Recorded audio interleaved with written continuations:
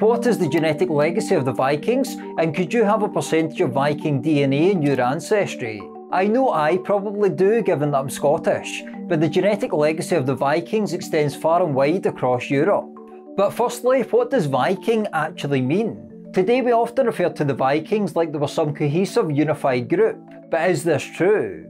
Although later in the Viking Age we saw more organised political structures like the North Sea Empire that unified the crowns of England, Norway and Denmark in the 11th century AD, the Vikings is somewhat of a loose term and implies as much the action of raiding by sea rather than a fully unified group.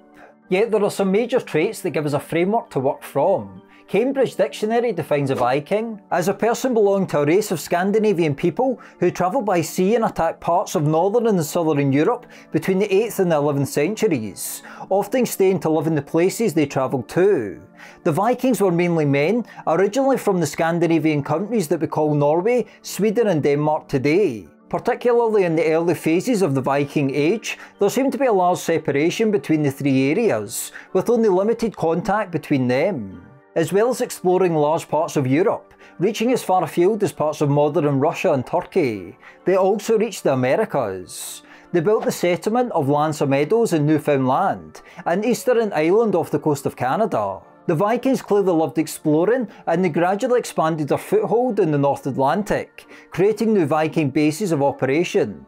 Leif Erikson, for instance, a Norse explorer who is thought to have been the first European to set foot on continental America approximately half a millennium before Christopher Columbus, was born in Iceland and died in Greenland. His father, Eric the Red, is considered the first European to settle Greenland. Now that we have a good overview of the Vikings, what about their genetic legacy? Well, obviously they have a strong genetic footprint in modern day Scandinavian populations, but their genetic legacy extends across Europe. A fascinating study that was published in Nature in 2020 looked at the population genomics of the Viking world. They sequenced the genomes of 442 humans from archaeological sites dating from the Bronze Age, about 2400 BC, to the early modern period, about 1600 AD, across Europe and Greenland to understand the maritime expansion of Scandinavian populations during the Viking Age, which the study dates from around 750 to around 1050 AD. The data from these individuals was then analysed together with published data from 3,855 present day individuals and around 1,118 ancient individuals. A really interesting finding from this study was that Vikings from the three different Scandinavian countries had a genetic impact on different countries. I.e. the study found that there was a major influx of Danish Viking ancestry into England, an influx of Swedish Viking ancestry into the Baltic area, and an influx of Norwegian Viking ancestry into Ireland, Iceland and Greenland. Just looking at the map, geography may be the main reason for this. Norway is obviously closer to Iceland, Greenland and Ireland than the others. Denmark is relatively close to England, and Sweden is closest to the Baltic countries. It seems Vikings tended to explore the lands closest to them, at least initially anyway.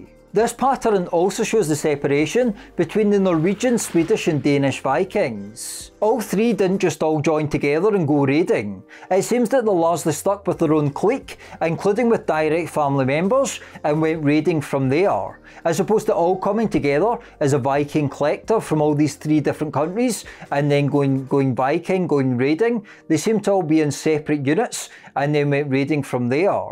One point to note is that although the genetic legacy is present in many parts of Europe still today, it is often relatively limited.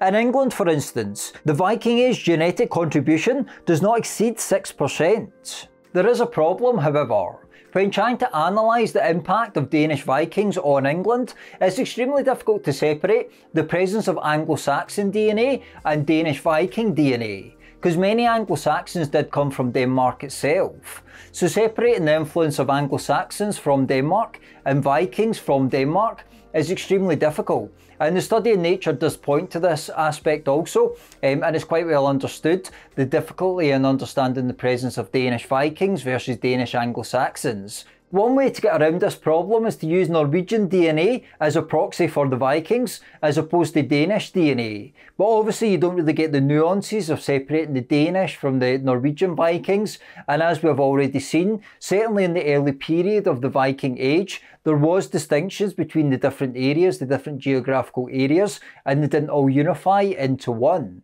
One study that used this ploy to get around the problem of Anglo-Saxon versus Viking DNA was the people of the British Isles study. They basically just used Norway as a proxy for the Vikings. But what did they find?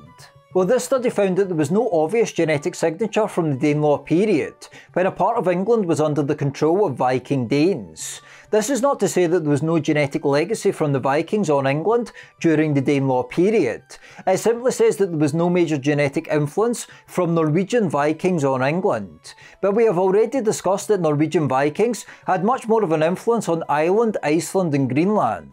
Deciphering how great the impact of Danish Vikings was on England is once again very tricky. The people of the British Isles study did find a significant genetic legacy of the Anglo-Saxons on England, with the Anglo-Saxons accounting for between 10 and 40% of total ancestry of many people in central, southern and eastern England. It may be the case that some of this ancestry attributed to the Anglo-Saxons in this study may actually come from Danish Vikings, but separating that data is extremely challenging. What the people of the British Isles study did find, however, was that in the northern Scottish Isles of Orkney and Shetland, there was a remarkable genetic legacy of the Vikings. The population of Orkney is the most genetically distinct across Britain and has around 25% of DNA coming from Norwegian ancestors. More broadly, there was a notable Norwegian signal in all of the Scottish samples in this particular study, a clear sign of the Vikings. Shetland also had a strong Viking influence as well, with Norwegian ancestry at around 20 to 25%. Norwegian markers are higher in people whose ancestry is from the north of both Orkney and Shetland, which is quite interesting. The more northern you are, the more Norwegian ancestry you have in Orkney and Shetland. Other countries that you wouldn't necessarily think had Viking ancestry also do have a genetic signal. In Poland, for instance, there is a small Scandinavian component in their ancestry in many of the samples from Poland, of up to around 5%. Now, the Vikings obviously had quite a considerable genetic impact in many different parts of Europe, but the direction of the Viking Age, this increased movement of trade and goods and people, given the seafaring nature of the Vikings, didn't just go in one direction. As well as the Vikings having an impact on different parts of Europe, other parts of Europe had an impact on the Vikings, the homeland of the Vikings in Scandinavia. The Nature study from 2020 found substantial ancestry from elsewhere in Europe entering Scandinavia during the Viking Age. I'm going to delve more into this in a future video on the genetic makeup of the Vikings. But what is your thoughts? Is there any other major areas or good research that's been done on the genetic legacy of the Vikings that I haven't covered in this video? Around perhaps areas of history you find interesting? The Kievan Rus, for instance, was an area I'd done a wee bit research into, but I couldn't really find too much information. But any good sources on the genetic legacy of the Vikings, please let me know in the comments below, and I can potentially do a follow-up video on, on that. In general, one of the main takeaways from this video has been that the Vikings were really split